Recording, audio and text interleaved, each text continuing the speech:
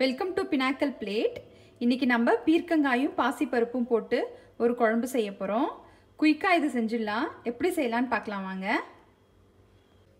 Oil சூடாயிடுச்சு. இப்போ நம்ம சீரகம் சேர்த்துக்கலாம்.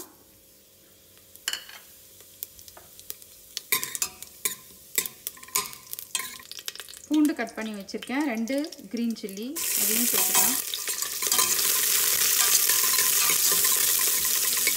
செவந்துருச்சு.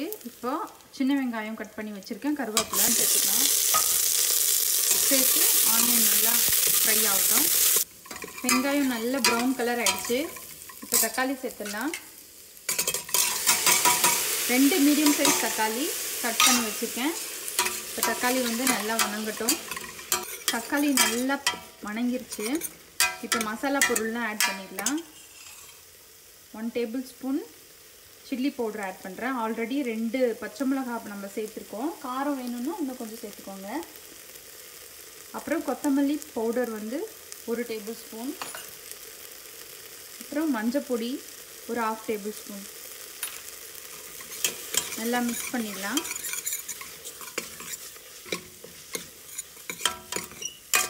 மசாலா வாசனைலாம் நல்லா போகிற அளவுக்கு. இப்போ பீக்கங்காய் வந்து சேர்த்துக்கலாம். பீக்கங்காய் வந்து நான் தோல் சீவி கட் பண்ணி வச்சுருக்கேன். ஸோ அதை அப்படியே சேர்த்துக்கலாம் அதில். நல்லா கலந்து விடுங்க. ஒரு கால் கப் அளவுக்கு பாசிப்பருப்பு. இதை வாஷ் பண்ணி நான் டென் மினிட்ஸ் வந்து ஊற வச்சுருந்தேன். ஸோ அதை வந்து இந்த காய் கூட நம்ம இப்போ சேர்த்துக்கலாம். நல்லா கலந்து விட்டுருங்க. இப்போ பாசிப்பருப்பும் காயும் ரெண்டும் நல்லா வணங்கட்டும். ஒரு ஃபைவ் மினிட்ஸ்க்கு மூடி வச்சிடலாம். நல்லா வாசனை வந்துருச்சு. நடுவில் நான் ஒன் டைம் வந்து கலந்து விட்டேன். இப்போ நம்ம வந்து தண்ணி ஆட் பண்ணிக்கலாம். அந்த காயோட மேல் பகுதி வரைக்கும் தண்ணி ஆட் பண்ணிக்கலாம். ரொம்ப தண்ணி வேண்டாம். கலந்து விட்டுட்டு திக்காக இருக்கிற மாதிரி செக் பண்ணிவிட்டு நீங்கள் உங்களுக்கு வேணும்னா இன்னும் கொஞ்சம் தண்ணி ஆட் பண்ணுங்கள் இப்போ உப்பு சேர்த்துக்கலாம்.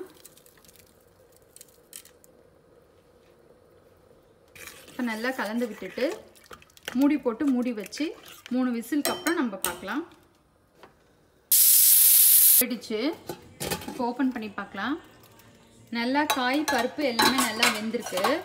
இப்போ கலந்து விட்டு ஒரு வேறு பவுலுக்கு மாற்றி கொத்தமல்லி ஆட் பண்ணிடலாம். கொத்தமல்லி சேர்த்துடலாம். குழம்பு ரெடி ஆயிடுச்சு. இது ரைஸ் கூட நல்லாயிருக்கும். தோசைக்கும் நம்மளுக்கு நல்லாயிருக்கும். நீங்கள் ட்ரை பண்ணி பாருங்கள் கமெண்ட் பண்ணுங்கள் தேங்க்யூ